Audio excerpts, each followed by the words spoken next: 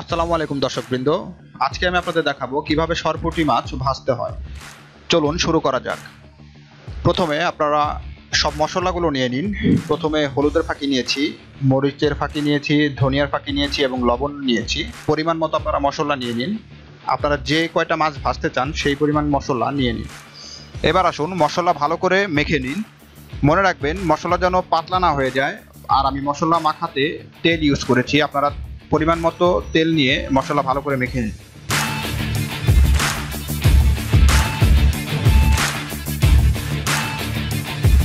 এখন আসুন, ভালো করে মাছ মাখিয়ে নিন।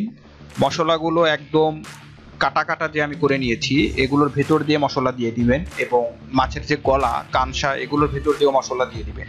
মশলা ভালো করে মাখিয়ে নেবেন। এই মাখানোর উপর ডিপেন্ড করে আপনার ভাজা কত ভালো হয়েছে বা মজা হয়েছে।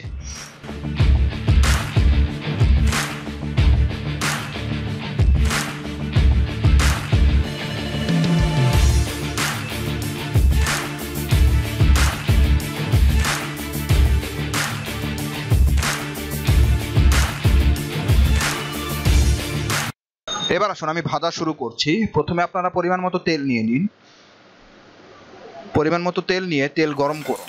ভালো করে তেল গরম করে তারপর আপনারা মাছ ছেড়ে দিন। মনে রাখবেন, তেল ভালো করে গরম না হলে আপনার মাছ লেগে লেগে থাকবে। এর জন্য তেল ভালো করে গরম করে নিন, এরপর মাছ ছেড়ে দিন। এখন আপনি মাছ প্রথমে ছেড়ে দিয়ে পাঁচ মিনিট অপেক্ষা করুন মানে আপনার প্রয়োজন মতো আপনি ভেজে নিন।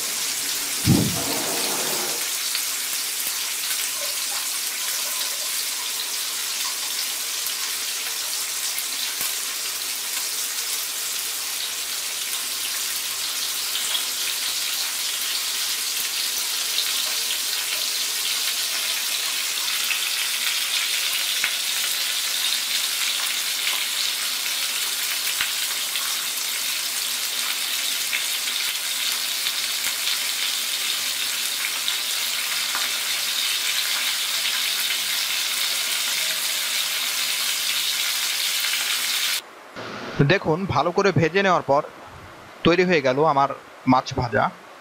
এভাবে খুব সহজ আপনারা সরপুটি মাছ ভেজে নিতে পারবেন। আজকের মতো এই পর্যন্তই, ধন্যবাদ সবাইকে।